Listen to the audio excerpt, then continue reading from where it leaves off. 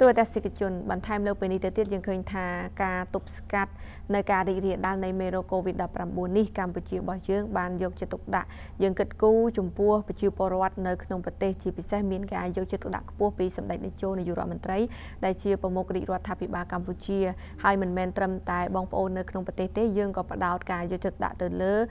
កងកម្លាំងយើងដែលកំពុងតែបំពេញបេសកកម្មការងារនៅក្រៅប្រទេសដែរនៅក្នុងនោះយើងមានកងកម្លាំងមុខខៀវកម្ពុជាដែលកំពុងតែបំពេញការងារនៅក្រៅប្រទេសហើយដល់ពេលមួយឆ្នាំត្រូវបដូរវេនម្ដងក៏ប៉ុន្តែដោយសារតែក្នុងអំឡុងពេលនេះវិបត្តិ COVID-19 គឺមានកងកម្លាំងមួយចំនួនគឺមិនទាន់អាចវិលត្រឡប់មកកាន់កម្ពុជាវិញទេប៉ុន្តែយ៉ាងណាក៏ដោយតាមការបញ្ជាក់ពីមន្ត្រីក្រសួងការពិចិត្រក៏បានលើកឡើងថាស្ថានភាពសុខភាពរបស់ពួកគាត់ដែលនៅក្រៅប្រទេសនោះគឺមានភាពល្អប្រសើរហើយមិនមានឆ្លងនៅករណី COVID-19 នោះឡើយបើតាមការបញ្ជាក់របស់នាយឧត្តមសេនីយ៍សែមសវណ្ណីអគ្គនាយកមជ្ឈមណ្ឌលជាតិគ្រប់គ្រងកម្លាំងរក្សាសន្តិភាពបោះសម្អាតមីននិងកាកសំណល់សង្គ្រាមនិងជាអនុប្រធានគណៈកម្មាធិការជាតិសម្របសម្រួលកិច្ចការបញ្ជូនកងកម្លាំងចូលរួមបេសកកម្មរក្សាសន្តិភាពអង្គការសហប្រជាជាតិបានអះអាងថាកងកម្លាំងមុខខៀវកម្ពុជាជាង800នាក់ដែលកំពុងតែបំពេញបេសកកម្មនៅក្រៅប្រទេសនាពេលបច្ចុប្បន្ននេះគឺពុំមានករណីឆ្លងថ្មីនៅមេរោគ COVID-19 ទៀតនោះទេ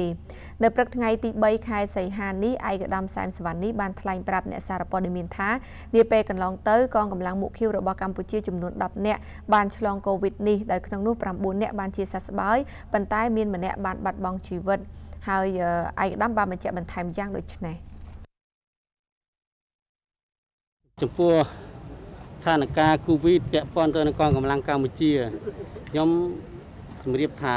ពីមុនយើងកើតឆ្លងជំងឺ Covid នេះគឺ10នាក់ជាបាលជាសះស្បើយ ដោយខ្លួនយើងដែលរួមសហការជាមួយមន្ទីរពេទ្យរបស់អង្គការជាតិនៅទីនោះយើងព្យាបាលជាសះស្បើយ9នាក់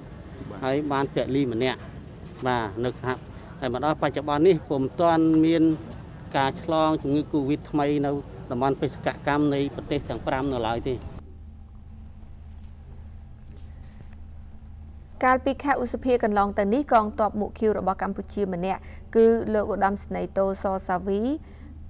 មេបញ្ជាការកងអនុសេនាធំកំទេចក្របមិនទាន់ផ្ទុះលេខ231បានបាត់បង់ជីវិតដោយសារតែ COVID-19 ខណៈដែលកំពុងបំពេញបេសកកម្មមនុស្សធម៌ក្រោមឆ័ត្រអង្គការសហប្រជាជាតិនៅប្រទេសម៉ាលីយ៉ាងណាក៏ដោយរហូតមកដល់ថ្ងៃទី3ខែសីហានេះកងកម្លាំងមុខឃីវប្រមាណជាង800នាក់ដែលកំពុងតែបំពេញបេសកកម្មនៅប្រទេសចំនួន5ដូចជាប្រទេសស៊ូដង់ស៊ូដង់ខាងត្បូងម៉ាលីអាហ្វ្រិកកណ្ដាលនិងលីបង់នោះគឺពុំមាននៅករណីឆ្លងថ្មីនៃមេរោគ COVID-19 ទៀតនោះទេនេះគឺបើតាមការបញ្ជាក់របស់ឯកឧត្តមនាយឧត្តមសេនីយ៍សែមសវណ្ណីដដែល